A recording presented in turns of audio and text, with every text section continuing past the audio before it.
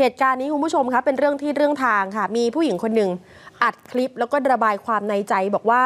เหมือนถูกหลอกให้ทำสัญญา โดยที่สัญญาการเช่าที่เช่าร้านอันนั้น เป็นสัญญาปลอม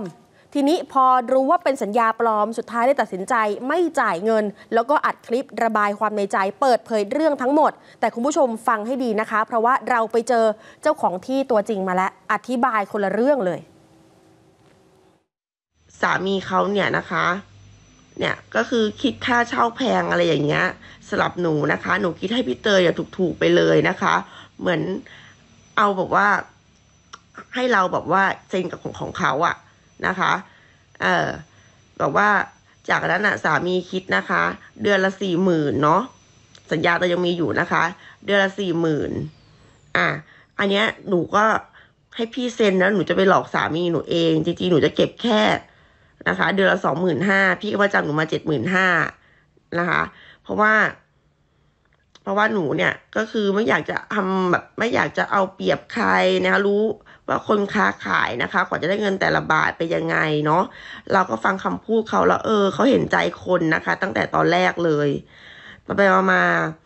เราไปทำเรื่องเพื่อจะขายแอลกอฮอล์กันนะคะ ขายเบียร์เนาะเราก็ไปที่สรรพสามิตนะคะ แล้วสรรพสามิตอะเอกสารอะ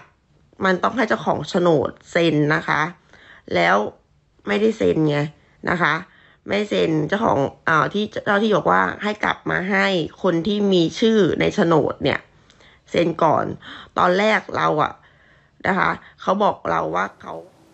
เหมือนผู้หญิงรายเนี้ยค่ะ กำลังจะไปเช่าที่เพื่อประกอบกิจการร้าน แล้วในร้านเนี่ยจะเหมือนจะต้องขายเครื่องดื่มแอลกอฮอล์เธอก็ไปเดินเรื่องต่อที่กรมสรรพสามิตแต่กลายเป็นว่า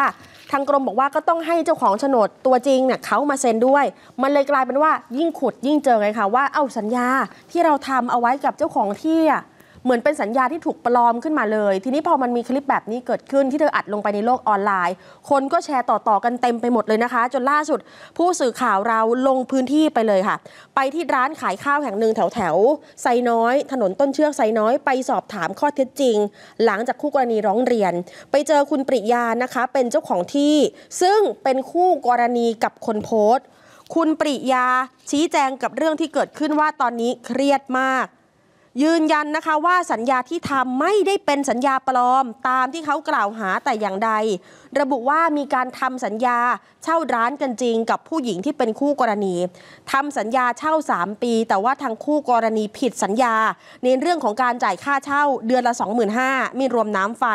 ทางฝั่งนั้นนั่นแหละไม่ยอมจ่าย โดยอ้างว่าสัญญาที่ทำกันอะมันเป็นสัญญาปลอม เธอยืนยันนะคะว่าไม่ได้ปลอมเป็นสัญญาของจริง แต่เหมือนว่าพอถามทวงค่าเช่าเขาเขาบ่ายเบี่ยงมาตลอด จนกระทั่งต้องบอกเลิกสัญญา แล้วคู่กรณีก็เอาเรื่องไปโพสต์เป็นอีกแบบหนึง่งตามที่ปรากฏเป็นข่าว ฟังเสียงจากเจ้าของที่ค่ะจริงๆ แล้วสาเหตุอะก็คือว่ามันมาจากการที่จ่ายค่าเช่าไม่ตรงค่ะ เขาชำระค่าเช่าเนี่ยไม่ตรงตามสัญญา แล้วก็ คือเรามีเงื่อนไขอะค่ะที่ระบุไว้ในสัญญาชัดเจนอยู่แล้วทีนี้เนี่ยสัญญาเนี่ยเป็นชื่อของตัวของเมย์เองทุกอย่างร่างตามแบบตามข้อกฎหมายหมดเลย ทีนี้เขามาผิดเงื่อนไขอะค่ะ ในข้อ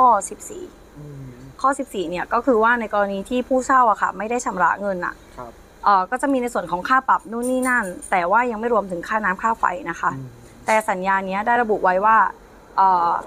ถ้าเกิด ไม่ได้ชำระค่าเช่า ไม่ว่าคุณจะค้างหนึ่งเดือนสองเดือนสามเดือนอันเนี้ยมันไม่มันไม่ได้นับตรงนี้ อืม ก็คือสัญญาเนี่ยก็คือจะสิ้นสุดลงทันที ครับ โดยมีมีต้องบอกกล่าวแต่อย่างใดด้วยค่ะ